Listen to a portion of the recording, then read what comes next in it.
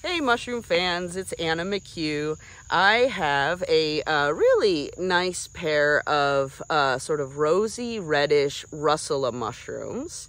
And uh, in times past, I probably would have called this uh, ro- uh, Russula rosea or the rosy russula mushroom.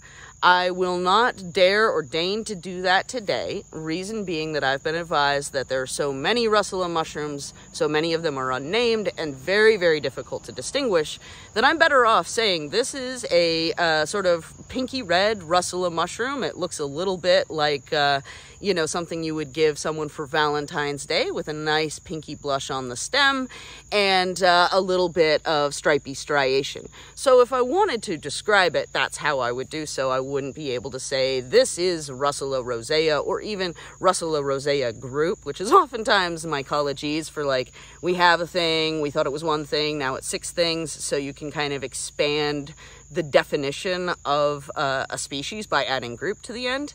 It's not really a cheat, but suffice it to say, Russulas are so very diverse, and there are so very many of them that I can't even really get away with that uh, in a comfortable way. So uh, I've already covered identification of Russula mushrooms on this channel before, but I will cover it really briefly. This is one of the most common uh, genus, uh, you know, and, and sort of fruiting body types you will see. The uh, genus, there's about 750 species. That is a guess. Uh, many, many, many of them are unnamed. We probably don't have anywhere near 750 species in North America, but probably a couple of hundred. And so, uh, and when I say probably, again, it's because mycology is constantly uh, defining, delineating, and, and splitting, uh, you know, existing species concepts into new ones. So, um, but as far as identification, even though it's impossible, or not impossible, but very, very unlikely you will be comfortable uh, with a genus and species identification on a Russula, you can recognize them pretty easily, especially once you see them a few times. So you have a cap and stem dealy. Uh, they have white gills. Common names uh, oftentimes are uh, brittle gill. I didn't even bother with that. Russula was probably the first, uh, you know, mushroom Latin word I started using because at the point at which I'm spitting out brittle gill and Russula is shorter and there are so many of them, so I'm constantly discussing them, I just sort of adopted that. So, you know, you will see um, this, that, and the other brittle gill in uh, uh, various literature, but I just call them Russulas. So, uh, you know, cap and stem thing, but because they're called brittle gills, uh, that's a good uh, sort of indication of of why and how they get their common name. So they are very uh, brittle and they come apart very, very easily when you uh, damage them. And this makes them delightful for things like mushroom fights. They have a really good, you know, um, explode when you hit something or someone with them. I uh, recently uh, found out that a friend of mine actually does mushroom or um, does Russula cornhole games. And I think that is a delightful idea because even if you miss, you're going to see a mushroom explode. So there's some drama, whether or not, uh, you know, you are successful with your throw. So, uh, you know, brittle, and uh, in this case, actually, is a very common feature. You know, sometimes, uh, or not sometimes, but almost always, uh, people will refer to the uh, stems of Russula mushrooms as snapping open like a piece of chalk. That is absolutely true, but in a lot of cases, unless you're there and the mushroom is super duper fresh, uh, you'll have worms and bugs get to it. So, you know, you can see it's kind of like that same sort of brittle tissue, but it's been hollowed out on the inside. Uh, Russulas are generally edible. Uh, some of them are good, uh, and I'm specifically referring to cracking green Russulas. So Russulas oftentimes come in uh, purple and red, and you know a lot of times they have white stems and they're little red dealy, and they're very spicy and unpalatable. So those are not counted as edible. But you also have uh, cracking green russulas. So, you know, you have um, Russula parvovirescens, which is sort of this beautiful blue-green mushroom I haven't found this year. So I feel very sorry for myself, but it's got this lovely sort of quilted cracking color on, uh, you know, pattern on top and then a related species group called uh, Russula crustosa. It comes from uh, the, you know, cracking appearance on the top. It's kind of crusty looking. It is not a crusty mushroom, thank goodness. Both of those are really good from an edibility perspective. Uh, side note, I always pause on Russula crustosa because I made a very common Latin uh, learning mistake uh, when I learned Russula crustosa for the first time. So, because I don't have Latin and I don't have Greek, um, you know, a lot of the uh, Latin learning that I do is uh, sort of associating one word with another. And so, you know, in the case of say, for instance, Aureoboletus betula, which is a beautiful uh, bolete type mushroom and edible that I really like. It's uh, Aureoboletus is A-U-R-A, so it's for gold, and I can remember that because of my periodic table. So I sort of tie these things together. Uh, however, with Russula crustosa group, for whatever reason, I thought it was Russula crostata group. And so I was like, it looks like toast on top and it's nice. It has this cracking thing. Perfect sense. Of course, as soon as I roll this out uh, on the forums, I got uh, a very well deserved correction and, uh, you know, um, many laughs were had by all. Suffice it to say, cracking green russulas and cracking, uh, you know, Crustosa comes in green, but it's also sometimes like grayish, sometimes purplish. So, uh, but those are sort of an area of russulas. If you're interested in eating them, that's where you should go. Um, you know, in the case of russulas that are similar to the ones that I found, which are, you know, again, purple and red, oftentimes with a white stem, but in this case with a nice rosy blushed stem, um, you know, many of them are edible if they are, uh, you know, palatable. And so when I say palatable, what I mean is uh, if it doesn't taste like cayenne pepper and light your mouth up and be very unpleasant, then you can take it home and eat it if you want to. I typically don't eat russulas very often unless they're the parvovirescens or crustosa group, uh, just because they don't have a lot of flavor. They're kind of unremarkable. And also, I am a very vigorous cook. I like to stir things and flip things and be very, like, engaged with my food and russulas simply won't tolerate that they'll just they'll just fall apart in the pan not that there's anything specifically wrong with that so um, as far as the relationships and where you'll find Russula mushrooms, I've totally destroyed them at this point. Uh, so you're just going to have to put up with a, a, talking head for a minute. So uh, Russula mushrooms are mycorrhizal, and uh, the mycorrhizal lifestyle is one of the more common lifestyles and ways that fungi feed themselves. So when you see mushrooms on the forest floor, oftentimes they're, uh, you know, parasitic or decomposing. So, you know, you'll see mushrooms like honey mushrooms growing on wounded trees um, that, you know, eventually will be choked and killed by the fungus. Uh, and then you'll see, you know, things like oyster mushrooms that are kind of doing their own thing in between. They'll attack trees or they'll decompose things.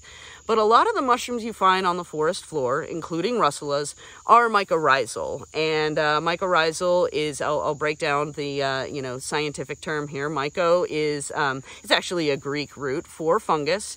And then rhizal uh, refers to the root. So rhizi is, uh, you know, the, the word for root.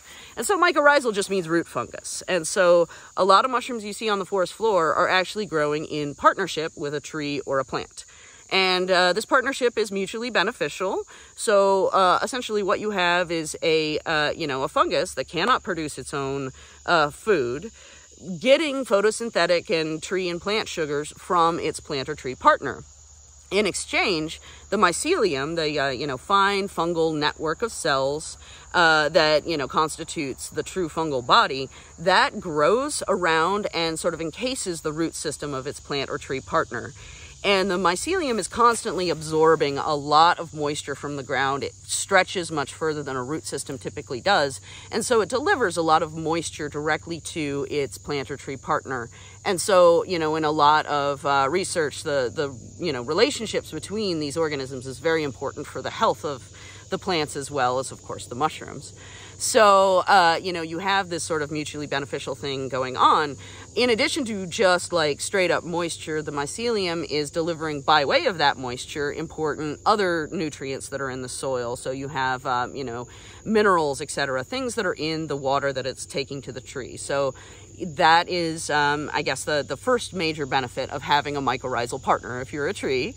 Uh, the second thing is that mycelium can convey some sort of, uh, you know, um, enhanced defense for that root system. So mycelium is very, very vulnerable to attack. It's very permeable.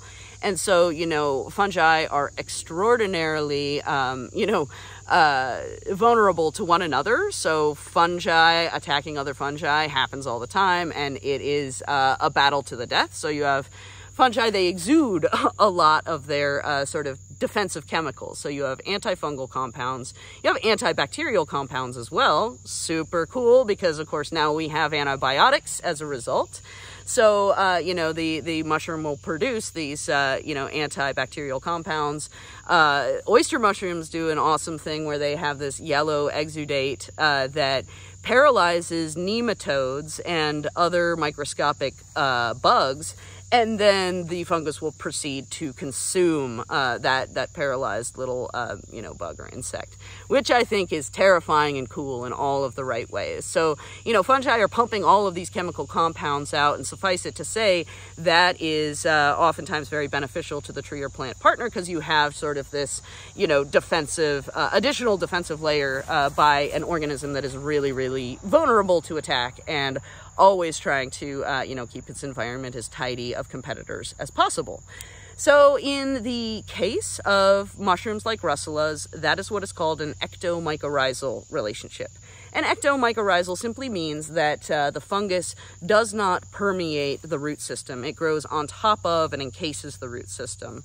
So, um, you know, that is a, a differentiation between the different kinds of mycorrhizal relationships. So the mushrooms you see are, um, you know, for the most part, I'm not aware of endomycorrhizal mushrooms, but you know, it's it's it is a more um, like attached and casual relationship, and you know, you can see other people as well because you know mushrooms will partner and buddy up with all kinds of things. You have, uh, you know, I guess you'd call them a thruple of a tree and uh, a mushroom, and a mushroom living with, uh, a, you know, an Indian or excuse me, a ghost pipe or, uh, you know, a, um, gosh, mycoheterotroph, which basically is a plant that attacks a mushroom, and that mushroom is usually having a myco, you know, ectomycorrhizal relationship with a tree. So you have all of this crazy stuff going on. So that's a mycorrhizal relationship. Not to say it's superficial, because it certainly isn't. But then you have uh, um, endomycorrhizal fungi, and these are fungi oftentimes that are, um, we know less about them. A lot, if you want to learn more about them, more than likely your sources are going to be plant pathology research. These are uh, fungi that grow between the cell walls of their plant partners. I don't know very much about them, um, you know, and the the relationships and their benefits and what happens is, is a little, you know, uh, cryptic to me. One of the things that I have read about, however, is that uh, there are some ecto uh, uh, excuse me endomycorrhizal uh, fungi that can help with um, you know drought tolerance and and similar things so, um, you know, long and short, oftentimes if you see a mushroom on the forest floor and it is, you know, not growing on a piece of wood, there's a really good chance it's one of two things. It is a decomposer that goes after, um, you know, advanced, uh, like pretty well decomposed fun- uh, uh, compost. So, you know, you have agaricus mushrooms. Those are the ones you also buy in the store that like to grow on poop. Uh, you have, you know, your oyster mushrooms that are growing on wood. And then you have mushrooms that are growing on the forest floor that are not decomposing anything because they are in this, uh, you know, delicate and uh, oftentimes very long-standing relationship with their tree and uh, or plant uh, partner. So, rosy-ish red russula mushrooms, 750, uh, you know, russula mushrooms total. I'm just going to leave it at a color. It has striations and it has the only thing that really is, I think, uh, distinctive about the specimen that I found is that rosy blush. That's not super uncommon, but it's a little uncommon because usually usually russulas have a um, like bright uh, sort of you know linen uh, like clean linens white uh, sort of of stem. So, uh, you know, you'll find them under pine almost any time of year. That's the one other thing is you can satisfy your mushroom itch almost any time of year uh, with these lovely uh, mycorrhizal buddies that uh, live with our pine trees and other plants.